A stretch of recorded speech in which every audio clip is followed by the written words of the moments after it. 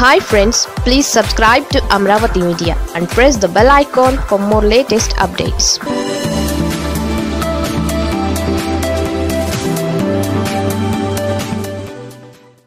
Butta Renuka ఆశ నెరవేరుతుందా?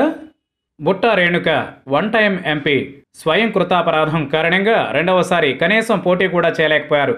బుట్ట Renuka BC సామాజిక వర్గానికి చెందిన నేత కర్నూలు జిల్లాలో ఆ సామాజిక వర్గం బలంగా ఉండడంతో రెండు వేల పద్నాలుగులో జగన్ కర్నూలు ఎంపీ సీటును కేటాయించారు. వైసీపీ ఎంపీగా గెలిచిన బుట్టా రేణుక తరువాత టీడీపీలో చేరిపోయారు. అక్కడ కోట్ల సూర్యప్రకాష్ రెడ్డి చేరడంతో తనకు టికెట్ రాదని భావించి రెండు వేల పంతొమ్మిది ఎన్నికలకు ముందు తిరిగి వైసీపీలో చేరారు. అయితే బుట్టా రేణుక ఏదో ఒక పదవి కోసం ప్రయత్నిస్తూనే ఉన్నారు. కానీ ఆమె కోరిక నెరవేరడం లేదు.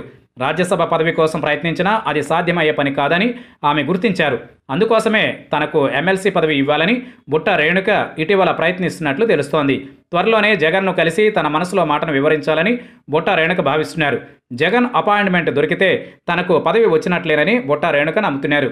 రానున్న కాలంలో దాదాపు పద్దెనిమిది ఎమ్మెల్సీ స్థానాలు ఖాళీ కానున్నాయి. ఇవన్నీ వైసీపీ ఖాతాలోనే పడనున్నాయి. దీంతో సామాజిక వర్గం కోటాలో తనకు ఇవ్వాలని బుట్ట రేణుక కోరనున్నారని చెబుతున్నారు.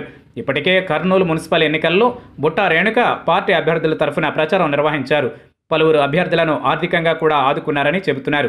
వాస్తవానికి వచ్చే ఎన్నికలలో తనకు ఎమ్మెగనూరు ఎమ్మెల్యే టికెట్ ఇవ్వాలని జగన్ను అడగాలని బుట్ట రేణుక భావించారు.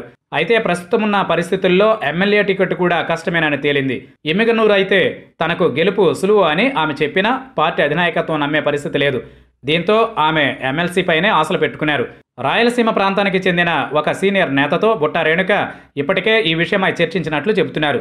మరి జగన్ బుట్ట రేణుకకు అవకాశం ఇస్తారా లేదా అన్నది మాత్రం సందేహమే. మరి చూడాలి బుట్ట ఫేట్ ఎలా ఉంటుందో.